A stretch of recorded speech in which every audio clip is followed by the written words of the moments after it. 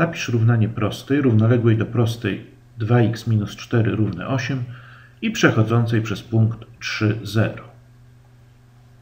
Może zacznijmy od rysunku, żeby sobie uświadomić, o co chodzi w tym zadaniu.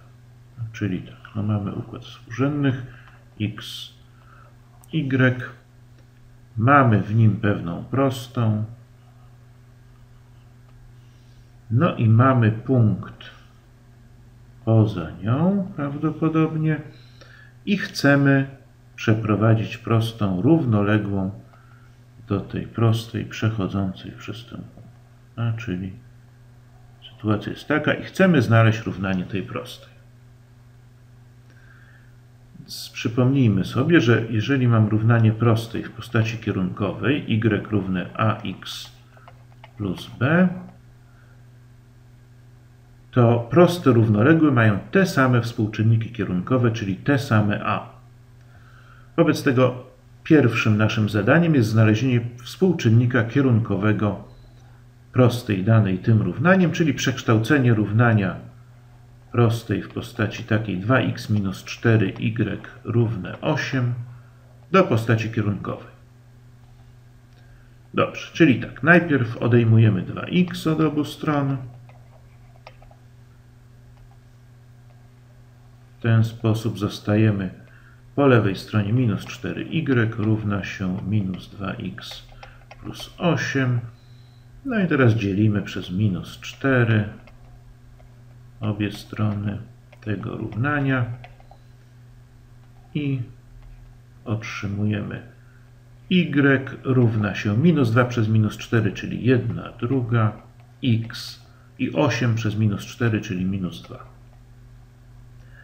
Zatem współczynnik kierunkowy naszej prostej jest równy 1 druga, czyli równanie prostej, której szukamy, równanie szukanej prostej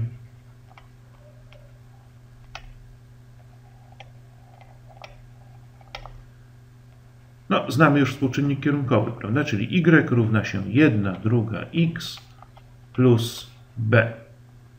No i teraz b możemy znaleźć stąd, że wiemy, że punkt 3,0 należy do tej prostej, czyli punkt 3,0 leży na prostej, no na tej prostej. Tak? Wobec tego no, wstawiając jego współrzędne muszą spełniać równanie naszej prostej, czyli 0 równa się 1 druga razy 3 plus b. No, czyli odejmujemy 3 drugie.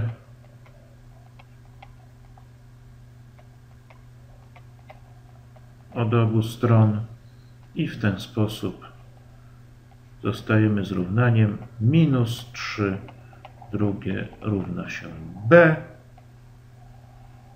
I w ten sposób równanie naszej prostej jest w postaci kierunkowej y równe 1 druga x minus 3 drugie.